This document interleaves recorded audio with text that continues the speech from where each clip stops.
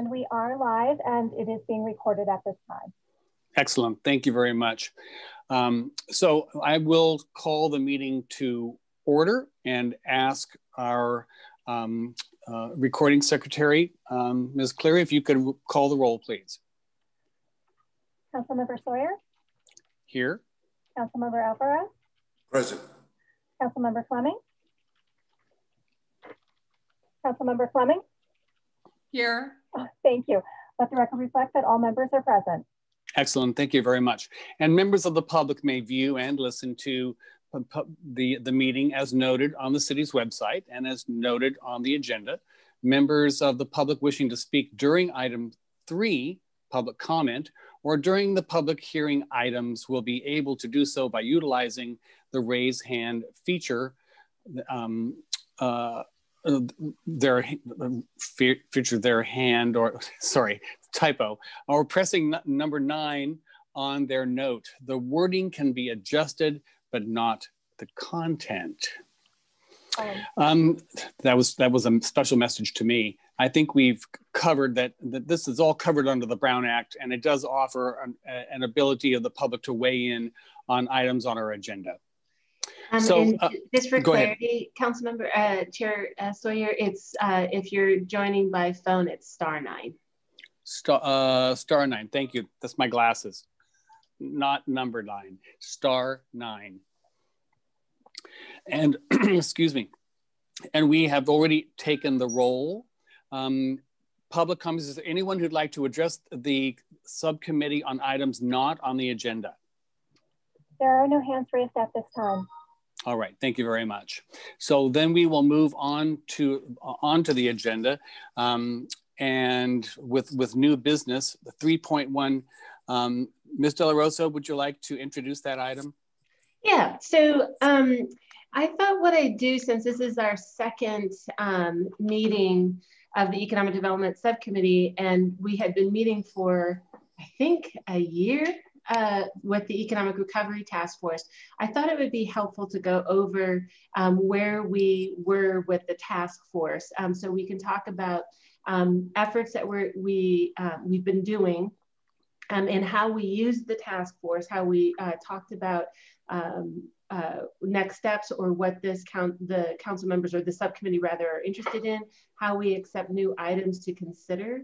Um, we had such a great uh, task force, I think we uh, were able to be both responsive to, to the pandemic, but also uh, continue to move forward on uh, other council priorities. So, um, so that's just, I was just gonna go through that and then maybe we could have a discussion about um, what you'd like to see brought forward here, um, how we wanna have these discussions now that we're a Brown Act committee versus the task force. So next slide, please, Eileen. So we had um, a very long list of things that we, uh, we put onto our economic recovery task force. Um, we accepted anything, any idea from anywhere um, throughout the entirety of, of what, when we met. Um, by the time um, we ended that that uh, task force in December, uh, it's culled down to um, what you'll see on these next two slides. And we basically had prioritized efforts and parking lot efforts. Um, what we were able to accomplish is pretty much seen on this slide. Um, they're ongoing programs, but I'll go through them. So um, actually, Councilmember Alvarez, just before you joined um, the council, uh, uh, gave us um, authorized $2 million for a child care support pilot program. Um, that we've started the first phase of that pilot program, which is a cash infusion just to try to get, uh, to try to retain uh, as many childcare businesses as we could to the other side of the pandemic um, and then the second phase was to expand capacity and, and, um, and uh, get more facilities uh, uh, built within Santa Rosa. So what happened with this one, if you'll recall, is that we've lost almost 50% of our childcare businesses in Santa Rosa.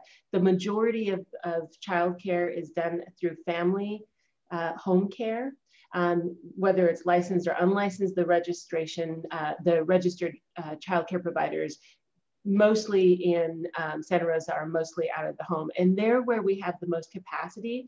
And so the, the stabilizing business part of it came from grants that we're running through First Five, um, as well as uh, we've doubled the number of training uh, slots that Four Cs provides. Um, and so we just sort of did a pass through of about $600,000 uh, to these two nonprofits to be able to stabilize the businesses. Um, what's coming next, and we've only just started to have this conversation, is what does this next phase look like with the rest of the money, the $1.5 million? Um, and I'd like to keep this task force as the primary task force through which we sort of vet these ideas as we develop this program. Um, what we're looking to do is uh, bring in more partners from the outside to leverage the funds. Um, with grants, it's sort of you use it and then that program is done. And we want to see how we can uh, uh, expand the remaining million five that we have in the program uh, so that it sort of uh, regenerates itself or we can eke it out as long as we possibly can. Yeah, um, are there any questions?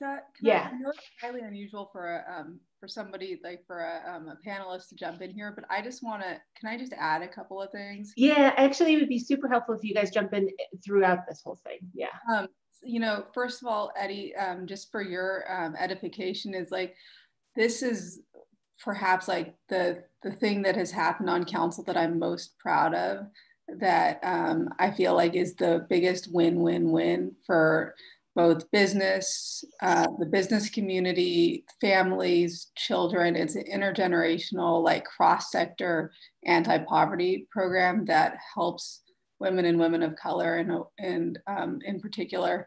And it's just something that I'm really excited about. And what I'm my greatest hope is that it doesn't just end up being this one and done type of thing, but that um, you know, as the pandemic allows and um, and as you know we move out of that, that this is somehow like something that we can expand to become more of a regional effort and something that other jurisdictions partner with us and maybe um, we're able to get more funding from philanthropic organizations um, because there is, you know, the Chamber of Commerce has been doing a lot um, on childcare for a long time. And um, I know there's some interest, you know, with Supervisor Hopkins around this stuff. So I'm hopeful that that we can take this on the road, that we can garner more support, and that this is not just the beginning of something in our community, but the beginning of a municipal movement toward.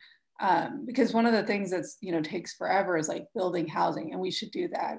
You know, repairing roads, we should do that. But the second, you know, biggest economic driver um, after housing is childcare, and it can largely be mobilized very quickly um, with the right investments. And so, um, I, I, hope my excitement is not too overwhelming, but I just wanted to put an exclamation point on this one and thank Raissa for her awesome leadership on this, and John for sharing my vision. And um, and I just can't wait to see what happens.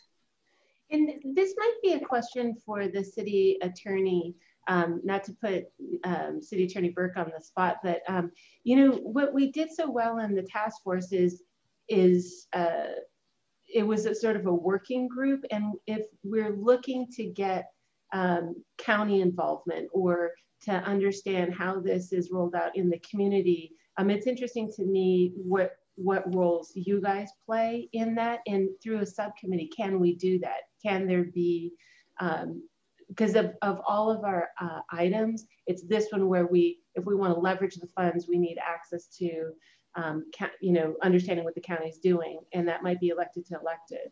Um, so councilmember fleming i don't know or uh, sawyer having worked on this one with with us with us in the past do you see is there a role for the subcommittee to play actively in this item in particular? Or, and if so, how do you see that, assuming that that's allowed through a subcommittee? Well, I think it's a good question because, you know, education, understanding the value, understanding the necessity, um, understanding the needs of not only the, the children, I mean, there are, there are, this, this affects in a positive way uh, so it's at so many levels. And the one thing that I needed was education. And at the same time that we we're hearing it discussed nationally, we're hearing it discussed locally. And I'm wondering uh, if, if we have gaps that need to be filled uh, in the in education and that and where where are the supervisors when it comes to this topic and i think um, ascertaining their positions uh, could help us as more, more regionally as we as because it is a regional issue. And i think that we need to look at anything that we do just like we look through a um, a, a climate change lens I think that as we as we make decisions in in this um, uh, in this subcommittee, that we look through that very important lens of childcare and and make making sure that we're not reversing course and losing the ground that we have gained um, in this in this uh, topic. So. Um, it probably once once we determine some um, good questions and to, to, to ask our, uh, our county um, uh, comrades that we do make some kind of contact with them and find out if there are areas that we can that we can support them or they can support us uh, in during while we work through the challenges to childcare in this county and uh, specifically in Santa Rosa. So I I'm, I think it's a it's something we need to be aware of. But for me, it was there was a fairly steep learning curve and understanding the importance because I, I don't have children.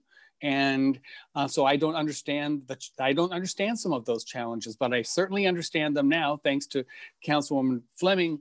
Um, that's it's really been uh, a, a, a, interesting journey for me. And um, I'm hoping that, that, and I think that the council, the full council, seems to um, understand the value and the necessity of being very mindful of childcare uh, in our city. And I think that looking at, at, at how the county is viewing it, it will be, will be very, very important for us as we move forward. I agree with you, John, um, Councilmember Sawyer. I think that we, um, that we we can all you know dig in and you know i think if we reach out to our supervisors um, and you know the ones who aren't our supervisors too but um, if we talk to them um, as a group um, not only will we be able to get their positions but but if they hear from a few of us they'll also um, it will be more on their minds as they go into their year and and set their priorities um, the other thing that i'm wondering is you know if there's a way for us to share our enthusiasm and our experience with other groups as those opportunities come available. If there's um, Rotary clubs or you know other um, chambers of commerce around the area or anything like that, um, Raissa, I don't know if you could keep an eye on stuff like that so that we could um, speak with them and, and share our passion for this because I think there's kind of nothing like having you know I mean here I am with two guys without kids who you know are fully on board, right? So um, you know, and you know, both business owners from different communities within Santa Rosa. So I think that we have a powerful message to share um, if we can get in front of some folks. And I think, okay, so that helps. Oh, sorry, Councilmember Alvarez, were you going to speak? Uh, well, I was just going to really just support the, the comments that have been made by my fellow council members. And, and, and you stated very uh, clearly, as business people, as two uh, men without children, we definitely understand the importance that childcare represents to our economy as a whole uh, for myself, for my employees that do have children, especially uh, pre-COVID and now post, hopefully post-COVID, uh, the importance of childcare is absolutely vital to not only the family structure, but our local economy as well. So you definitely have my support. And, and I do appreciate the proactiveness that my fellow council members took to address the issue of, of childcare. And now during the pandemic, and now as we hopefully see the light, even more so. So I definitely appreciate their efforts that have been put forth. You know, and, and there was, I'm sorry, didn't mean to interrupt. There's, there's something that we need to make sure that we don't lose track of. COVID has helped us put a very bright light on childcare because for a, on a number of, for a, for a number of reasons.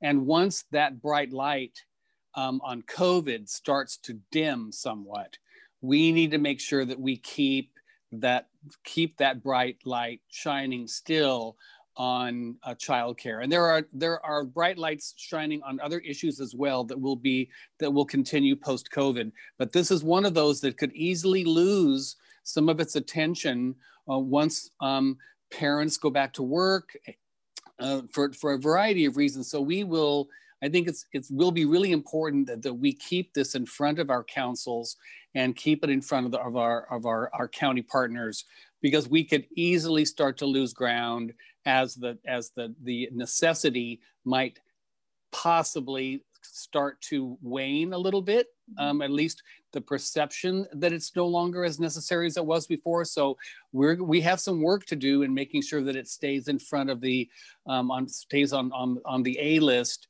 um, for uh, issues to be aware of. And you know um, to your point john i uh, sorry council members. You know what? I, am fine with John. I mean, I, what, I'm, what I'm not sure about is protocol of whether we have to call each other by our titles. I don't think I think for the purpose of the subcommittee, if you, you, can use my first name, I'm comfortable with. Thank you. How about you, Eddie? I, am gonna go.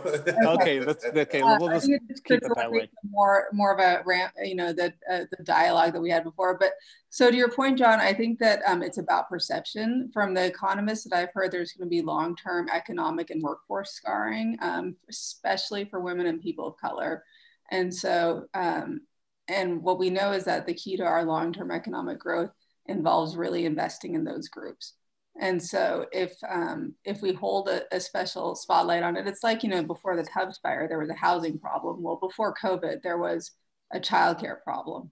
And mm-hmm. I think we've done a, a, pretty good job as a council of keeping in mind that the housing problem, you know, persists even though we've rebuilt most of our stock. We're, we're doing everything we can. And so I think that if we can hold childcare like that, you know, and I have this vision of this is going to sound crazy, but of one day having, um, you know, childcare um, like in the form of summer camps throughout the city of Santa Rosa, um, and that they're all based on ability to pay, and that you know we might not be able to, in one fell swoop, solve the housing crisis, but what an attractive place to live and work would Santa Rosa be if between the school systems and the um, city park and rec department that you had a place, safe place to put your child year round and that that we would really become even more of an economic powerhouse. So I know I get really excited and um, I, I, would apologize for it, but I, I, think that it's really important. So no, no it's, it's, a beautiful vision. It's a beautiful vision. Universal childcare. Um, why, why not, right? And, and, what it means to our labor force. I mean, especially for myself in, in District One, where we do have a large population of, of, of laborers. I mean, this this would definitely answer the question that's been um, at the forefront pre-COVID. So it, it, definitely answers a lot of the needs that my community uh, in District One has. So no, definitely, uh, it's a beautiful vision, and I would love to uh, to work alongside of each each of you to, to attain that, uh, especially with contribution from businesses, and and really understand that we're actually as business owners we're profiting from our our, our labor force not having to deal with this extra cost or extra extra issues every morning uh, when it comes to to our, our child care. Well, we used and summer camps. You know, I, I remember going to summer camp here in Santa Rosa, and I think that there's. I'm not sure if the, there's that much focus currently on summer camps. I'm not sure about the age requirements. I mean, what the what the challenges might be, but uh, I remember having a great time. And even though we were probably a little bit older, and I'm not sure what age group we can we can you know create a summer. I'm sure that something could be created that will attract um, uh, kids of a younger age. Uh, so I think that the, I love the idea, and I, I think it's something that we could continue to to look at as an, as one of the options because it's you know it's that time of the year and uh, those summer camps regardless of the age of the child can be something that that can be life changing if nothing else a great memory maker so I, I i think we should you know i think we should pursue it okay so um uh, City Attorney uh, Burke had mentioned that um, obviously, if if all three of you are going out and um, doing work, then it would be covered under the Brown Act. But um, if uh, individually or, or two of you are doing something and we bring it back to the committee, then that that works. And um, so listening to this conversation, which is inspiring, um, you know, I think the, the main things are as we develop this program, so staff will come back um, to vet these program development uh, uh, elements here to the subcommittee, but the big questions are leveraging the funds, uh, leveraging the political support. Um, and I think that's where I, I am hearing you guys are willing to play in that space. uh, and um, doing so in conjunction with the supervisors. Another thing that's interesting, um, Councilmember Fleming um, being on the red, um, as we, because one of the second phase pieces of this program is again that new facility development and rehab rehabilitation we're not only just um, losing the providers, but we're losing the spaces that are uh, uh, eligible for people to be in given the state requirements. Um, and so that's that other piece of it. So, so we'll bring that back to you guys. Um, and I captured the vision of universal childcare and let's work towards that. and our, um, our recreation department summer camps are included in opportunities uh, that we're pursuing. Um, so the next one is, um, you know, it's more straightforward. Um, it's the pursuit of revenue opportunities. Uh, the one thing that we're pursuing at this point through the, uh, which will go through council, is the formation of an enhanced infrastructure finance district. So um, I'm not sure if that's going to go through this committee. I have a feeling it's more uh, would go through the uh, long-term finance subcommittee. Uh, but I just want you to be aware that um, there are elements or uh, sort of sub projects from an EIFD that we'll be tracking uh, because that infrastructure finance district um, affects the development of the areas in which we form that financial district. And that's a tax increment financing uh, uh effort. Um, but the other thing um, that we've brought either through the downtown subcommittee or through this subcommittee is the develop is the creation of community benefit districts. These are assessment districts. Um, so I've talked with Councilmember Alvarez about this, the potential of something like this in Roseland. Currently, we have one, as you know, in uh, Railroad Square area and downtown area. Um, but uh, my coworker, uh, Rafael Rivero, is looking and working with businesses in the Roseland area to see if we could do that as well, a benefit district there. And this just enables people through a financing mechanism that the city has to participate in, but it enables um, uh, uh, neighborhoods, uh, usually commercial districts, uh, to have funding to reinvest into their specific district. Um, stop me if you guys have any questions. Um, the other thing is with our real estate manager, Jill Scott, um, and with um, our uh, parking district manager, Kim Nadeau, um, we've identified city properties in the downtown that aren't part of the uh, public-private partnership for a civic center um, that we're going to pursue uh, development on. So specifically, we've identified lots 10 and 11, which are the small parking lots on Fifth Street and uh, and one of the potentially one of the garages in the downtown uh, to release them to do an RFQ for affordable housing. We have to follow the state uh, Surplus Land Act. And so it's going to be a phased thing, and we'll be bringing that and discussing it through the Economic Development uh, Subcommittee for what that development looks like. Um, that uh, merges with the infill development projects, including the uh, the exclusive negotiation agreements and the uh, disposition and development agreements. So right now we only have one uh, ENA with uh, Cornerstone Properties on lot two, which is that the lot behind the Press Democrat building. Um, we're really fast tracking to get that done in the next six months. Um, so that's something that's also going to be coming back here. Um, Roseland initiatives, um, we met with Councilmember Alvarez. Um, you know, we have a downtown subcommittee, we have an economic development subcommittee. With Roseland being our other sort of main downtown type of area where we have development capacity. You know, I have an interest in in having sort of a standing item on Roseland issues here, um, if it makes sense, um, because I think we need to begin really putting um, a concerted effort uh, in focus on uh, development and uh, and uh, needs in the Roseland area similar to how we do with the downtown. And so I just wanted to see how you felt about that being vetted through this subcommittee. Well, I'll jump in the, here. I mean, we've got, we have a subcommittee or we have a, um, a uh, what we have highlighted Railroad Square. We have naturally highlighted the downtown um, because it is the, the, the virtual and physical core of the city. But I I think that it's we are um, well beyond the time um, of necessity for to have a bright light and uh, shining on Roseland. Um, it is a uh, it is a cultural center. Um, it is it's, it's it's like it would be. I, I can't imagine the city of San Francisco not shining a bright light on Chinatown, and I can't imagine the city of Santa Rosa not shining a bright light on Roseland. Uh, it deserves it deserves that kind of attention.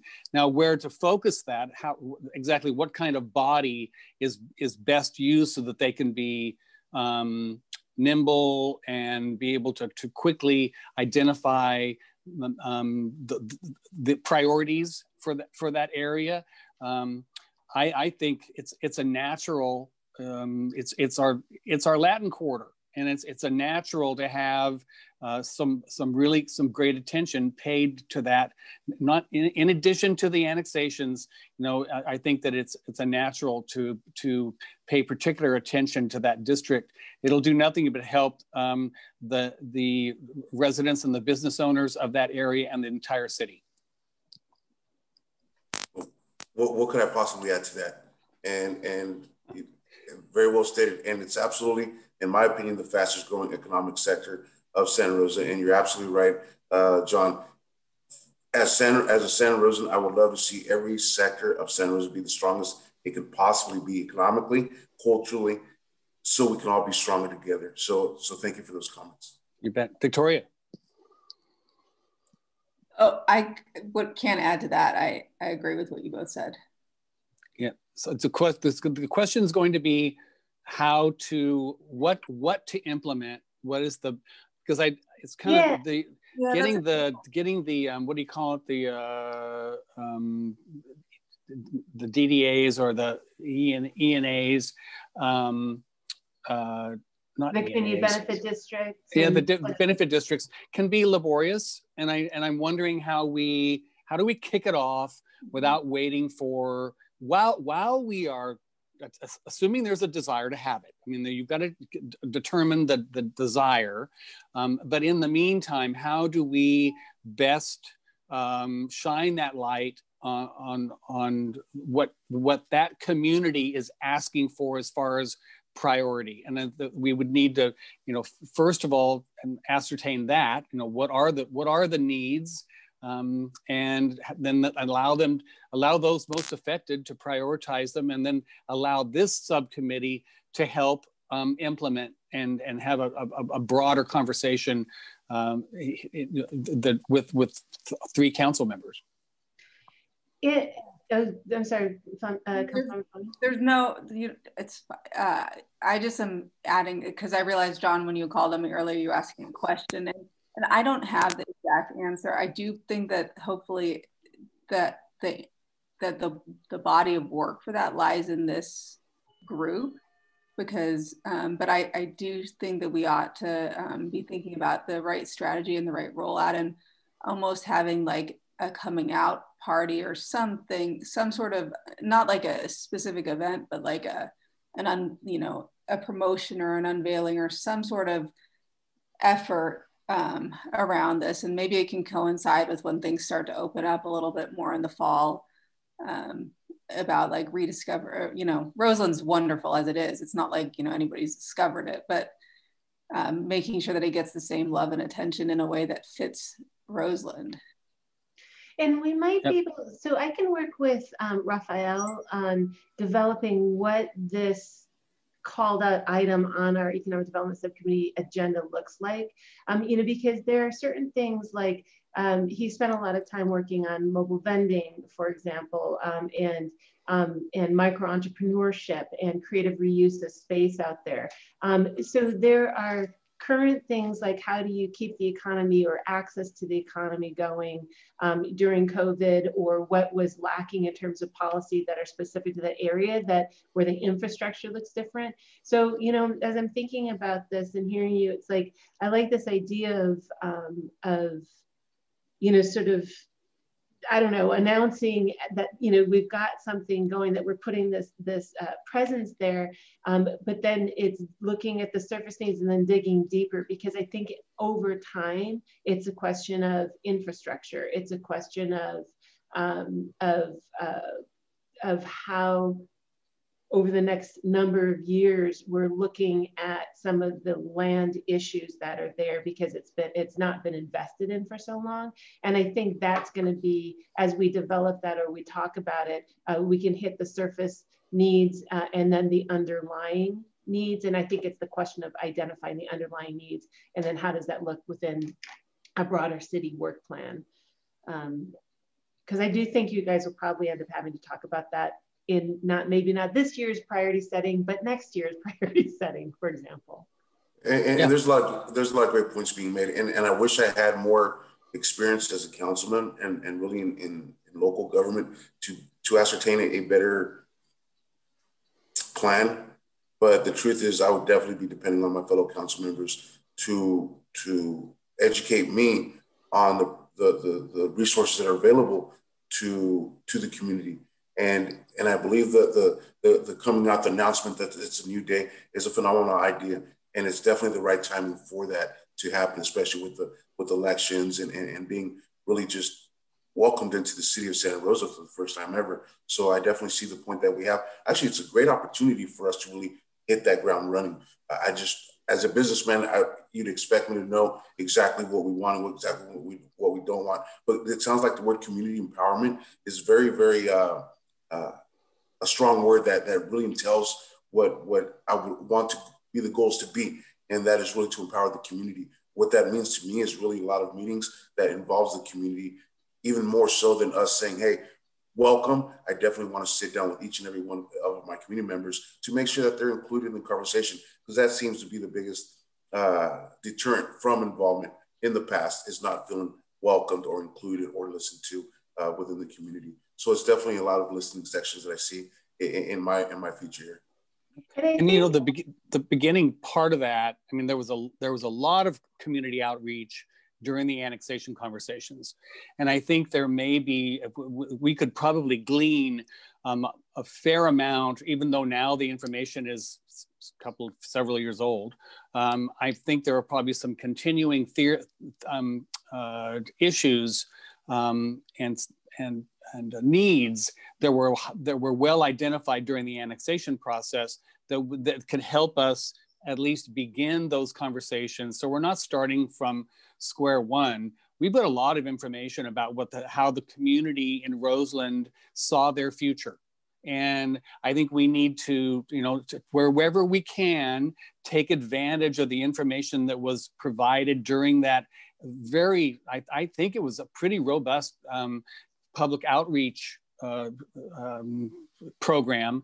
Um, so let's you know take it off the shelf and and, and relook at that potentially before we uh, and maybe with some maybe some things will jump out at us maybe maybe not but I, it would be a great place to start i think one way or another yeah and i think the thing that's interesting is that we annexed it during the fires like literally we were still in the eoc yeah and the annexation happened um, and then, you know, that the rebuild, et cetera, it took a long time. I think, you know, the other thing that's interesting to me is that, so again, if we look at the downtown, including Railroad Square and the Courthouse Square areas, um, they have direct access to three council members through the downtown subcommittee. Um, this would be that access uh, to a committee uh, for for those businesses as well, or for those residents um, as well. And I think that's sort of uh, I think that'll be helpful. Yeah.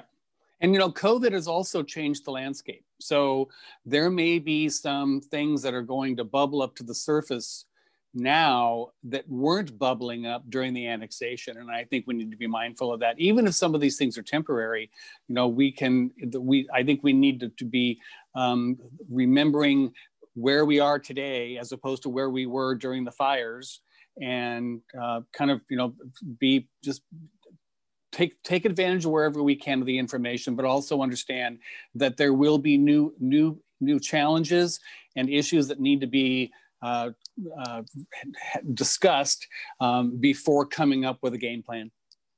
Yeah, and um, I just want to add because you know Councilor Alvarez, I mean, we're also making it up as we go along. We just will we will develop this together and discover the tools together.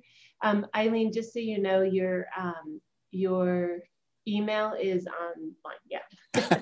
um, uh, so um, yeah, so we'll we'll develop that uh, jointly. Um, I think uh, Rafael and I will take the first crack at sort of like how do we define this, or um, he's out there all the time. He has weekly meetings, multiple meetings um, each week, I think, with uh, business organizations and residents of that area, and um, and we can figure out with the community um, and through you as well how how to how to roll that out. So, and Sounds Rafael Rivero is definitely my dad's best friend since about five years ago, if not maybe even more. So any, anything, hey, where's Rafael? I don't know, Dad.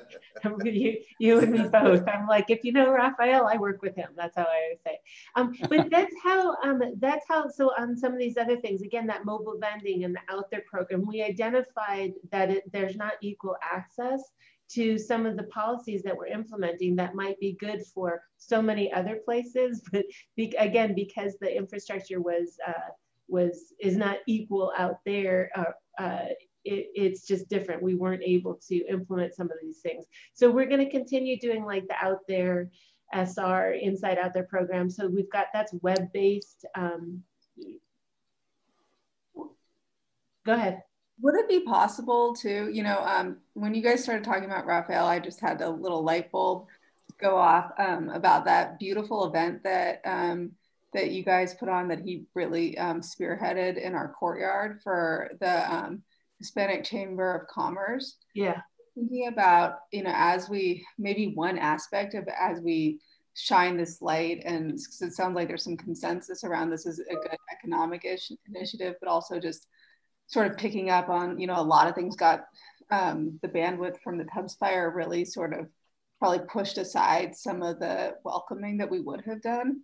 And so that event made me think about like, well, what other ways can we um, bring, you know, do more things like that, but also perhaps I'm, when we um, can have events in person, um, what it would be like to have like some subcommittee meetings in Roseland community spaces um, and to uh, you know because i don't think we've ever as a city done that. You know sometimes like boards and commissions will meet at finley center or whatever but would it be possible for us to i don't know what space exactly but to have this meeting be why not have this meeting be held in Roseland on a quarterly basis? Or... I love that idea. I mean, or even like I had this idea like ages ago, I mean, years and years and years ago, which was like, I mean, it, I think they have to be announced as special meetings so that we can say where they are, because otherwise they're usually in the same place. But we should be out in the community um, and to have uh, greater access. Um, we've elevated Rafael um, to this. I don't know, uh, Rafael, if you have anything to add um, or any thoughts on it, but otherwise we will continue to work together on that. But yes, I think we should be out in the community. That's a great idea. I, I even hope that one day we can have a city council meeting in Roseland. Uh, and, and that definitely builds off your, your, your comment, Victoria. I would love to see that happen. And it's really a testament to the people that government is, is there and, and, and we're, we're inviting everybody to participate. It's it's ever so important. Yeah, it's hard for me to see why it wouldn't be, um, you know, advantageous. But if, then again, I you know come up with a lot of ideas that don't, in the end, seem advantageous. So we'll see. I think this would be though. Okay. I think this would be great. I mean, Rafael, do you want to give an example, like when you pulled in the county and did, um, even in COVID, we had a outdoor, safe community meeting. Do you want to talk about that? Uh, really quick. So um, I think everyone there is just hungry for a greater connection, a greater engagement. So definitely, I think uh, they will welcome the idea. I think it's long overdue. I believe we can find a particular spot where we can hold some of these meetings, some of these gatherings, etc. Uh, but the um, collaboration between the county and uh, the Mitote group and the city was just tremendous and I'm really glad that uh, it came together in in unity uh, under the pandemic and under the restrictions, under the uh, where we had to disinfect all the chairs and tables. But we had a, a gathering there. We provided a training to the food uh, vendor operators on how to uh, get their permits and such, and how to go through the process. So there wouldn't be any confusion. But what I really enjoyed was just the connection with the uh, the county folks as well as the other 10 entities involved, and uh, we made it happen. So working together, good understanding, communication, and that expectation that we were there just to to to improve the process, which was really was the the beautiful outcome of it. And just out of, out of that outcome, we've been having regular meetings with county folks where our planners are involved where uh, Bill is involved, where other folks are involved, and uh, where there's one coming up where they want to do a follow up on on the Mitote outdoor dining uh, project. Uh, they want an update on the farmers market, and we also are working with the. Uh, I'm also working with uh, Andrew Trippel and Monet on a brochure to provide that comprehensive education to the to the vendors and the brochure is going to be both in English and Spanish. And it's just another form of engagement that we're producing out of the effort from um, just being out there, getting to, to know the businesses and, and the community and building that trust, uh, which is greatly needed.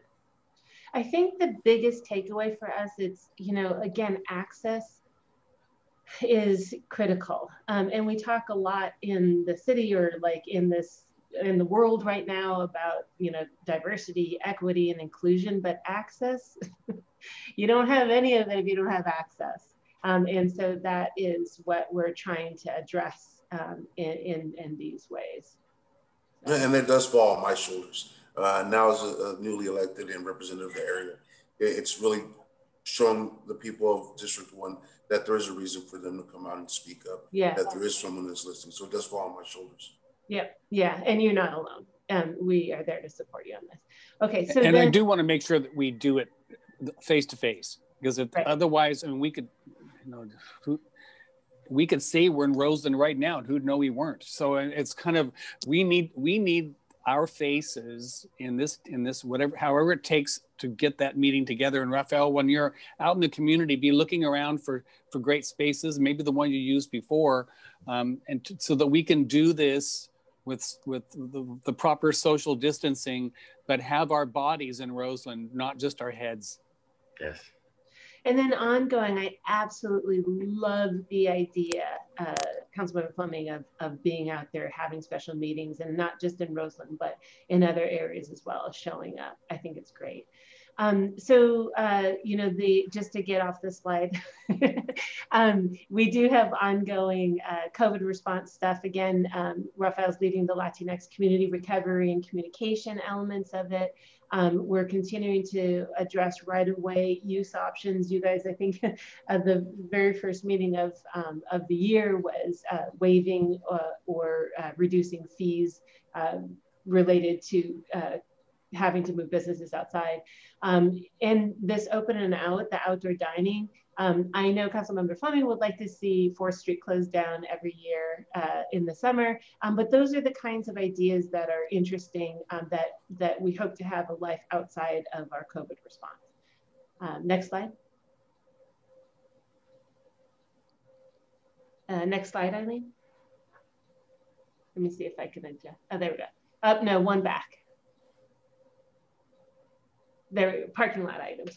Okay, so on these, um, so we receive a lot of interest or inquiries or ideas um, from all sorts of areas. And um, so what we realized in the Economic Recovery Task Force is um, the the best way to capture this, acknowledge it, is to just keep a running list. And, you know, to be honest with you, some of the things bubbled up or down uh, depending on feasibility. And so these are some of those things. So I just want to acknowledge, um, you know, especially because some of these came from other council members, um, that we do hear them. And if you see anything on this, um, depending on capacity of staff, we can move things around. It's not like the, the first slide is what where where we are um, forever.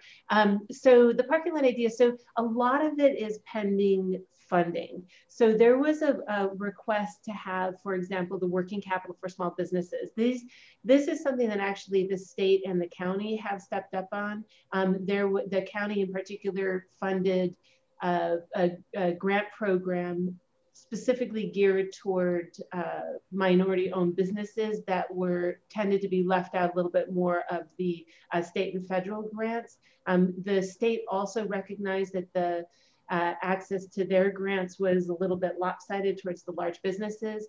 Um, so in this one, we have not had the funds or found the funds to do a working capital for small business program within the city. Um, so it remains on the parking lot. Uh, we're not opposed to it, but we have found that other jurisdictions have, or that the county and the state have been stepping into that. Um, vacant space activation, um, we're constantly looking at this idea um, you know, it's on the parking lot because we haven't, um, other than the Merc uh, Mercado, uh, where where in Roseland the old uh, Dollar Tree was reused and repurposed. Um, that's kind of the ideal of what we'd like to do, but we had a willing partner with the county, who is the landlord. Um, the idea behind this is to um, is to activate the streetscape. Um, we know that there are a number of businesses that have been closed down, but how do we use those closed businesses um, in an interim fashion or even just just to do the facade or storefront um, somehow activate those. Um, it doesn't necessarily need money so i didn't say it's pending uh, pending funding but it's an interesting idea that pops up um, when we get an opportunity uh, tenant improvement is something that does need funding. Um, we brought this up in our regional economic development meeting. I know Windsor's looking, uh, looking at it, uh, but this is uh, grants or low interest loans to help uh, either rehabilitate or to do uh, some kind of new program for businesses at either the facade or interior tenant programs. We have tried to have programs like this when we had redevelopment. They're complex um, there was, I had an interview with somebody who was doing a master's thesis on this issue. Um, so if it's something that comes up, it is a, a, large program area, we'd have to really figure out how to do that. Um, a business incubator or fab lab, we used to have a uh, makerspace. That makerspace closed down. There, I've been talking with a couple of businesses who have an interest in doing something um, similar, especially around manufacturing. Um, you know, I think this, if we can uh, get a little bit more uh, time uh, for the ED staff, we can, you know, pursue a partnership on something like this. Um, it doesn't necessarily have to be through a school or a single business, but um, it's an idea that there is a general interest of in the business community um, policy and regulation development for emerging uh, industries. We've kept this one on. We saw opportunities around um, early on around uh, repatriate, uh, how do you say it, bringing um, offshore businesses back in, especially for manufacturing, what um, opportunities exist around this. I think this one we're looking more um, through the general plan process. Um, if there are uh, opportunities to look at how, um, what industries might be growing uh, and where we might be able to align it with land use or, um, you know, whatever opportunities within Santa Rosa or Sonoma County. Partner programs, this has been brought up to us a few times. We do, uh, Rafael sits on the Workforce Investment Board. Um, we uh, take a rather passive role uh, in uh, training or retraining uh, workers uh, re-entering the economy. Um, but um, you know, we keep this on because if there's an opportunity for us to play a larger role, we're obviously always interested. Um, similarly with the COVID working conditions, you know, we haven't identified any, but uh, at this point, but um, you know, an offshoot of this, for example, was the paid sick leave. Um, so those are ideas, sort of broad ideas in that way. What needs to be addressed specific to the pandemic, or even outside of the pandemic, um, that the city, from a policy standpoint, could play a role in. The Downtown Preservation and Economic Protection Plan. This came from one of our council members who proposed a $75 a month fee um, for any landlord that had a, a, property owner that has a vacant storefront. Um, and the idea for that was to use those funds to help support a recruitment and retention programs of businesses. You know, to be honest with you, um, I don't know how many uh, how much money that would bring in um, or the value of that. We uh, are have started working with the Chamber of Commerce more aggressively, and the Downtown Action Organization specifically on identifying and pursuing businesses to take over vacant storefronts. Um, uh, but running a program that has a fee associated with it um, has some complications, but but it's on here. We could certainly look into it if it rose up. And then um, a policy to the latest one, it came up during early on in the pandemic and then was brought up at a recent council meeting, again from a, a fellow council person, um, is the question of capping the percentages charged by food delivery services. We've only heard this request from one uh, business so far, um, we, but we do know that, for example, uh, San Francisco's done it, uh, a couple other businesses have done it, and that's like Uber Eats, um, or those types of things that they, ch they charge 15%. It's not particularly advantageous to the um, to our local businesses, but we haven't heard it in the economic development division as a growing concern, but we're not opposed to looking at that policy. So those are the things that are left over from the task force um, that are that remain on our list. Are there any questions on that? I do. I do have a question. Um, it's a concern, actually. Um, the Economic Preservation Economic Protection Plan, the seventy-five dollars. You mentioned, you know, you're not really sure how much it would generate. What I do know, it was to generate a fair amount of anger, and I think there's a there's it's almost it feels almost insulting to me to have and I understand, I know, I know where, the, I don't even remember which council member brought it up. I understand what they're thinking about is that if it's going to be, if it's going to be an empty space, it needs to be maintained properly. How can we make sure that it's not unattractive? You know, malls use their own ways of, they actually hide the fact that there's an, an empty space, but that's in a mall environment. And I'm just wondering who's doing this and how well is it working for them? And is there some, is there another conversation we can have about um, kind of beautif beautification of empty storefronts without smacking somebody 75 bucks because they because they can't find a tenant. And so there's, I'm, it just kind of, it's, it's rubbing me the wrong way. And I, I'd like, I'd, I'd like to address the issue of empty storefronts without giving them this what is almost like an irritant as opposed to an, an effective way of dealing with the issue. So I'm wondering if we could delve into this one, either um, put it on a on a um, uh, what uh, on the on the chalkboard later. You know, put, put, it. What do you call it? It's not a chalkboard. Your parking lot. Yeah. You know, put put it on put it in the parking lot, but having it sit there, it just every time I read it, it it just makes me uncomfortable. Well, and I maybe because I'm an ex retailer, I just it, it rubs me the idea. wrong way. Yeah, I mean, okay. what we can do is we can actually take this off um, and we replace it with, um, you know, there's maybe an opportunity to work with public art um, and see if we can put at least if if we work with the with the property owners at least put art in the windows. Um, you know again something similar to what malls do. They they board it up in a nice way or they use the storefront. Um, and the other thing we can do is talk with the downtown action organization uh, have them sort of uh, expand on what what that joint program with them is. So it's identifying, it's working with, because a lot of times staff, we don't know the neighbor or the, the business there knows that they're going out or that there'll be a vacancy in their building. Um, mm -hmm. So we can, we can expand that, but we can actually take this off. What do you think committee members?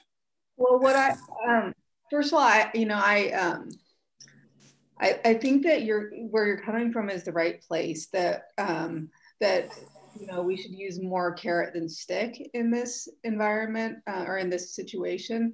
I think that there's that every landlord is a different individual or a different corporation.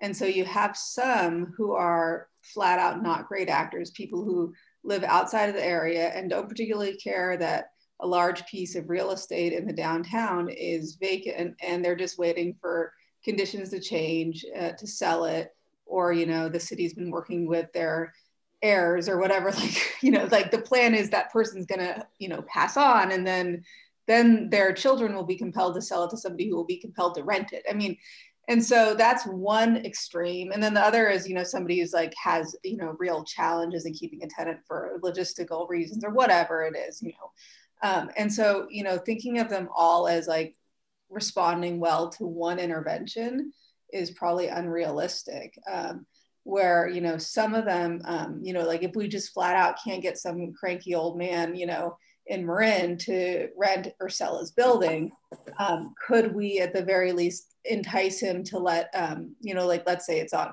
4th Street, let the neighboring business use this space in front as a parklet or some, you know, or, or sidewalk dining or an expansion thereof. Um, and then, you know, for the ones who are, you know, more earnest and trying, but have genuine challenges, you know, getting in there, um, like Raissa said, that they're already trying to do with the Chamber of Commerce and helping to identify potential tenants and the kinds of businesses. And that sounds like that's already happening. And then, you know, the third piece would be like the art for the temporary situations. But I do believe that there are these, you know, more difficult and intractable, uh, only profit motivated. I mean, most all landlords are going to be profit motivated, which is not a bad thing, but some who are profit motivated to the point of not being concerned about our community. Um, and those people I, I, would like to see us have um, some, you know, some sort of way to deal with. And I don't know what the answer is short of, of a fee or a fine, but I don't think that somebody who's waiting to see their investment go from three to four or five to seven million dollars is going to respond much to $75 a month except to you know start an independent expenditure campaign to take us down or something and that's a great point. I mean, it is seventy-five dollars, but I agree with John. It's it's it's that little thorn in the side. Had this not been a pandemic uh, environment, I, I, would I would laugh and agree with this. But even on this economic recovery work plan uh, on the parking lot, we see working capital for small businesses. We see vacant spaces activation, tenant improvement pilot programs, and we see one uh, detriment to a landlord. So it's really the economy that we're in, and I would I would actually see the seventy-five dollars as something laughable but it would be more of the thorn in the side, an environment that I have no control over. And, and for that reason, I would definitely uh, advocate for, for removing that $75 a month. And then in, in, the future, bring it back if, if needed. But in this current environment, I, I can't see that as being a tool that, that will promote uh, economic recovery. Yeah, well, I appreciate that. And, I, and it's not, not to lose sight of our need to um, mitigate empty storefronts. I think there's there we've got to. I think we still need to come up with something. They've tried it over the years. I think they've tried every every idea known to man um, or woman uh, to um, figure out a way to make empty storefronts that have been empty for literally um, 15 years. Um, I, I, my business was right next to, to one of them, uh, or very close to one of them, and they've just got the the, um, the tenant improvements were so expensive they they just they couldn't rent it. Um, but that didn't mean that they couldn't use it. They finally did. It is being used. It's finally being occupied um, uh, after all these years. But I, I don't want it. I don't want the concept to fall off the the edge. I just want this strategy to be something else that that might work a little better. And I agree with that. For me, it's it's really the timing of the of the environment that we're in right now. But if, yeah. if we're hearing that something's been vacant for five years because the tenant is waiting for that grandparent to die for the for the inheritance, it's only being uh, a negative impact on the surrounding businesses that are having that vacant lot accrue webs in the window storefront, and, and that's not proper for for any outlook for for a business community. Yeah, good point. Okay, so then we'll, um, I think what I'm hearing is I can just um, link it more effectively with vacant space activation and, um, and sort of take away that $75 a month. I mean, we can uh, put in the back of our minds, but yeah. um, but really put it towards the uh, vacant space activation concept. Uh, Ray, I don't know if there's a limit that we could, I mean, again, I'm thinking uh, once COVID is gone, I mean, even if it's even if it's a five percent of whatever the the the fair market value or or, or of, of the lease, even that is a penalty. And then we start seeing seeing landlords that will look at the five percent and maybe give it as a five percent discount to a potential tenant. Uh, there's nothing worse in a shopping center than an empty space. But right now in the COVID era, I, I would disagree with it. But no COVID, I definitely would want to pressure landlords to fill up spaces, and that's for the good of the entire uh, uh, strip mall. And I'm thinking of a, of a mall in this or a strip mall in this case. Yeah. Okay. Okay. Um, and I know there there are um, programs that we can look at um, when that time comes uh, to see. Okay. Um, so that was it for that item. We went through all of the efforts and thank you very much for the, I got some good notes out of that. And I think, uh, and I, I should probably call for public comment. Do we have, Eileen, do we have any, any um, anyone from the community that would like to speak on item 3.1? We do not have any raised hands at this time. Okay, thank you very much. So let's go ahead and go to 3.2, Raissa. Okay, um, this one, um, Eileen, could you go to the next slide, please? Um, thank you. So this one is our um, uh, business tax, how we're doing on our, what did I say? Oh, it's our 2020 quarter three sales tax. Uh, just super high level. As you can expect, our sales tax um, is really down. Um, we are uh, not doing Santa Rosa in terms of um, our sales taxes uh, lower isn't bouncing back as uh, well as Sonoma County as uh, uh, or statewide um, is. Um, and again, just as a reminder, we lag when we on our reports for sales tax is six months behind. Um, so this is Q3. We'll understand where we are Q4.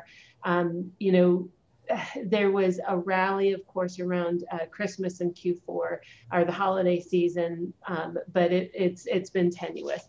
Um, I will say the thing that is um, saving us is a bit of an overstatement, but um, the online sales and our portion that we get back from online sales um, has been somewhat stable, um, and it's. Uh, thankfully, a few years ago, there was a, the Wayfair Act where um, where we used to not get local sales tax didn't come back to us if people were, were purchasing online.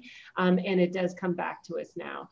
Um, year over year, I think it is a 12% decline um, from where we are. Um, obviously, general retail, transportation, and food products um, were hit hard. Um, I will say we've always done really well in auto sales, new and used auto sales. Um, we've been higher or on the higher end throughout the state. Um, that has finally been, and we were uh, anticipating uh, that to reduce a little bit. Again, our new and used sales, uh, car, sales um, has reduced a little bit um, as well. And so there, even those aren't doing very well in this economy. Um, let's see, construction is the one area that we see as um, somewhat stable. If you've been um, listening to any of the uh, regional economic reports or even statewide reports from some of the economists coming out, um, the uh, housing market has remained stable. And for us, construction remains uh, stable up here. Um, but that is the high, just very high level. Um, we're down, we're not bouncing up quite as well, but our um, but our online sales tax uh, is has been helpful. I have a question. Um, Please. Is that okay? yeah, yeah. Um, I'm just curious to know, um, Marisa, what you think. Um, you know, I'm looking at this chart, and what's actually most striking to me is what was going on in 2019 um, you see the um, Q, what I imagine is like the Christmas bump um, from Q1, um, which is the high point on the chart. And then it just starts plummeting essentially um, into the pandemic, but a year ahead of time. Am I, is, do we have an understanding what's going on there? Um, I have to look back because I did do a report out, and I just, you know, to be honest with you, I um, I didn't look back uh, at this point. Um, I can't remember, but I can tell you next time because I did look into it. I just can't remember. Okay. Yeah, I just think it's really interesting because what you see is like in Q3 of 2020, you know, you're almost back to where you were at Q1, um, you know, pre pandemic. So, it, yeah yeah let me go back because um, i did have i do have notes on that and i just because what i ended up doing too on this um, was looking at um, area by area. Um, and i think we had delved into you know downtown kind of like where were our hotspots um, and how were they performing uh, year over year in those quarters. Um, so let me go back. And yeah, and I know that you know Santa Rosa, um, you know that sales tax is just one portion of our revenue, and I know this is more of a long-term finance wheelhouse, but it would be interesting at some point to see one of those slides. I've seen them before, like the pie chart of like where our different revenues come in and you know what portion of that is sales tax. I'm sure John knows all all this stuff inside and out, but um, but it'd be interesting to see that so we could understand like why you know our our our Santa Rosa line might lag behind the state and and the um, county, but that we're doing other things or um, you know where we want to go in terms of our economic development efforts um, in balancing um, our our portfolio of incomes. Um, Eileen, can you go to the next slide, please? Did you have that next? um, no, I don't. Um, I'm like, can you know, produce a report and then it just magically appears? No, I um just threw uh, just the most uh, basic things. Um, and you know, um, our deputy director of finance, Alan Alton, is on. If he wants to raise his hand, we can elevate him. But I don't. I, I think we'd have to um, go back and take a look at that and maybe um, have him. Uh, I can have him sort of help us give give a better overview looking back because I remember in 2019 he and I we did have a discussion about this um, and like I said I did look into it. Um, you know what's interesting too is that we weren't alone. Everyone they all pretty much followed the same within reason followed the same curve. So what was happening to us was happening countywide and in the state. So and I'm I'll be I'm glad you asked the question Victoria because I'm uh, when once I became aware of it and really looked at it, that is it's an it's an oddity that I would like. I'd love to hear the explanation to that. And then we'll all go, oh yeah, of course. But it'll it'd be good. It'll be great to hear it. If, if I may, you know, it really sounds like this this was time period that that really the houses started selling again in Coffey Park and in the rebuilt fires, uh, the inventory started coming back on. So it wouldn't surprise me at all. Some furniture was one of the best sellers as people were trying to replenish the couches that they had lost during the, the fire, so to speak. Uh, but when it comes to the car sales, I mean, in District One, that's one of our highest producers as well as well the marketplace. And I can't really say that uh, at the end of 2019. If you had told me at the end of 2020, I would have said it, everybody was was back out in the open after being quarantined, and they were more than happy to go shopping and, and spend their money. But that's not the case here, is it? You know, I might even be able to do, we used to have a map um, on GIS that had um, sales tax hotspots and you could see where things were. Let me talk with our GIS folks and see if I can uh, get that as well. Are there any other sort of economic indicator things that you'd be interested in seeing um, as we look into this? Um, you know, the next time it'd be interesting to see, you know, when you answer that question, if you could back it up a couple more years um, just on the chart because um, maybe it just looks like that like all the time you know um, yeah okay um, yeah um, it certainly is compressed uh, so uh, i will do that all right. Well, that's all that I had. I'm sorry I don't have, you know, too much information on it. Um, I didn't dig too deep. I just want to let you know, look, we have um, some of the initial Q3 um, uh, information and I can go, I can go deeper. That's it.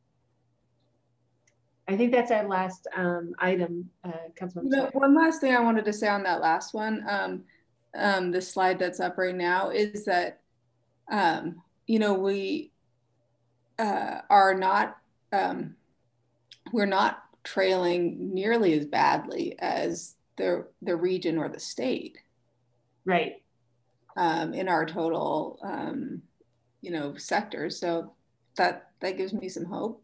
Yeah, and you know, I, you know, it's good to remember too that um, that Sonoma County, we're pretty diversified up here. Um, I think more so than people think because they hear mostly about tourism, and yes, tourism is a huge um, uh, factor in our economy, but we're more diversified, I think, than um, than that statement would lead you to believe. If I may, in this in the historical reports that, that uh, Council, I'm sorry, the Victoria is asking for, it's if if we can incorporate, and I don't know how you go about doing this, but really how the fire has affected those numbers, both in in, in, in construction, uh, sales tax revenue from from our local hardware stores and, and that type of thing. If there's any way to incorporate how the fires affect. Um, yeah, I can. I mean, I will tell you that um, when we looked into this um, during the fires, again, I'm sort of going way back in my mind, and by way back, I just mean pre-pandemic, um, when I had better memory memory of it. Um, we actually were really stable after, from an economic perspective, after the fires. I mean, construction, obviously, construction was up, and that was a leading indicator. People were replenishing, like you pointed out. Um, so we actually, from a sales tax, as I recall, did pretty well after that. And that's one of the things that could be that, um, you know, when we were doing the rebuild that you hit a, a, a, peak and then it began going down. I just can't remember what the notes were from that time. You know, Alan has his hand up, so maybe. Oh, um, Eileen, can you um, can you promote Alan?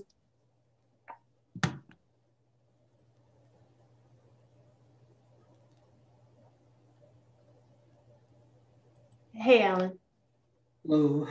So um, I'm trying to remember what was the question about um, uh, the percentage of of sales tax to the whole was was that no the question was um, on the sales tax um, revenue reports mm-hmm. that uh, you see a steep decline starting at the beginning of uh, from the peak of the beginning of 2019 right. Uh, you know a year we would have you know imagined that it would have started at the beginning of the pandemic but it it start the slide really started before that. Yeah so um yeah to, so i did hear that one and and i don't have a good answer for that. We'll we'll we'll we will need to do some research uh, i did notice or we noticed that um, that in the quarter right before the pandemic, we were starting to see a slight decline. Um, that could have been from auto sales. We've been waiting for the auto sales bubble to burst, so to speak, in our uh, in our area from some time, and it just never happens. We're we're very fortunate that we have uh, a, a, strong um, uh, base in that regard. Plus, we have CarMax, so we kind of if new car sales go down, we're kind of hedged with uh, with um, uh, used car sales there. Uh, um, but we can go into a further. Um, yeah, I'd appreciate that, Alan. And the reason why um, is not just out of like pure curiosity, although I, I will admit to just being generally curious. It's because, um, you know, these trends um, on the graph mirror state and and low and county trends. That's not just you know about us here regionally, and also because they predate COVID. If there's some and you know I've heard from multiple economists that our economy is generally fundamentally strong, even though this is disproportionately impacted. Um, you know certain groups you know more vulnerable groups more than others but that our economic the foundation of our economy is in a good space and so I'm wondering, you know, if there's any vulnerabilities or, or weak points that we need to address um, through this and or um, our colleagues over in long-term finance so that, you know, we don't end up with a blind spot. Right. Yeah. And, and we, we will uh, be going over um, a lot of, a lot of this uh, in the finance subcommittee uh, in the, uh, um, I think in March, we're scheduled to do a revision or to present a revision of the, the long range financial forecast and then bring that to the full council in April. Okay. Um, so that'll be our, our real next chance to look at trends. Uh, we should by that time have, uh, um, we'll, we'll, we should be able to at that time go back and research exactly what the trends were heading before the pandemic and now. Well, I think that um, to the degree that it's it's possible to have um, an abbreviated version of those presentations in this group, this group doesn't need the and poor John has it over there too. But yeah. this group doesn't need like the full thing, but we need just enough to um, inform the decisions on economic development policy. No, I totally understand that. Just wasn't really prepared to do that for this oh, meeting. That's fine. And this is absolutely this good. Is kind of a wish list thing going forward because I feel like today's kind of been this synergistic meeting of figuring out where we're going to go and how we're going to get there. So Yeah. no expectation that it would have been done today. Yeah, and for what it's worth, uh, a lot of what, um, you know, to kind of echo to what Rice has said earlier is that we, we are fortunate in that online sales uh, have uh, um, kept us afloat, if you will. Uh, you know, sales tax is about, you know, 30, a little more than 30% of our revenue budget in the general fund and property tax is around 20%. So you're looking at about half of our revenue uh, comes from property tax and sales tax in the general fund. Uh, our property tax is strong, our property values remain strong. So that's a, a firm revenue source for us. And where the volatility is, is in sales tax, which is why we try to diversify our uh, revenue portfolio as much as possible. Um, and all, all, I can say is that if that Wayfair decision wasn't in place and we uh, we weren't able to uh, reap uh, uh, sales tax revenues from online sales, we would be in a horrible situation right now. Um, but uh, uh, they're still low. Um, they're still below our estimates. But as as they said at the state, the last meeting I, I attended, um, they are they're bad, but they're not as horrible as they thought it was going to be. So it's some hope. Thank you. Yep. Thanks, Alan. Yep. Thank you so much. Um, so I, I'll, I think I'll ask the ask the public if they would like to weigh in or have any questions on 3.2, the 2020 quarter three sales tax uh, report overview. Do we have anyone, Eileen? We do not have any raised hands at this time. Okay, thank you very much. And we'll just move on to our the, to the next agenda, which is talking about the next agenda. Yeah, um, so I think um, I if if I'll work with Alan if we can have some kind of version of that. We'll look back at the history. We'll definitely have that on the next agenda. Okay. Okay. And the other one was the Roseland. We'll try to flesh out what that looks like on the agenda moving forward. Um, and if you don't, you know, I, I think we, well, we really should not anticipate not meeting. What, what would be our next meeting date, Raissa? The second Tuesday, um, which is um, March, uh, March 9th. Okay.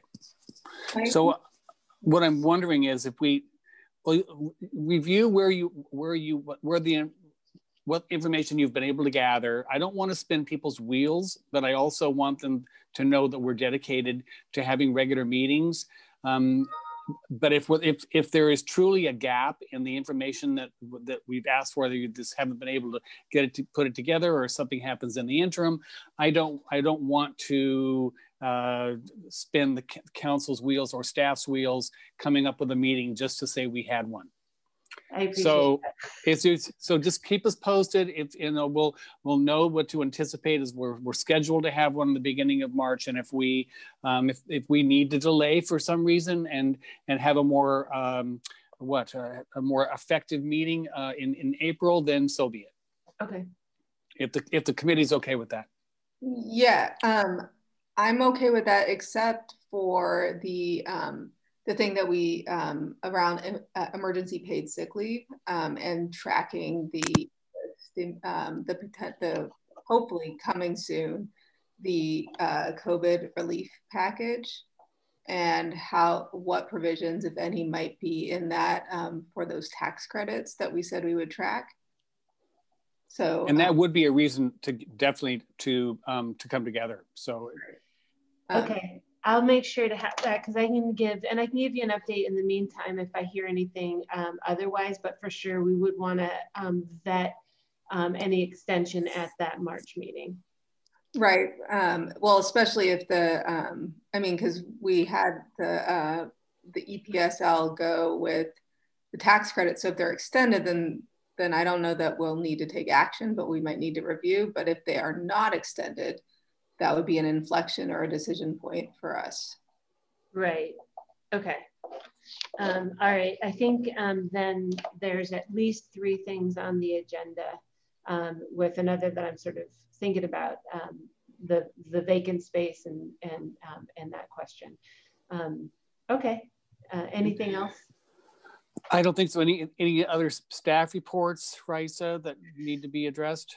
No, this was incredibly helpful, and I'm um, very, very grateful that you guys are willing to have a merger of a Brown Act meeting with the Economic Task Force, um, and to be able to have this kind of conversation um, has been super helpful. Thank you.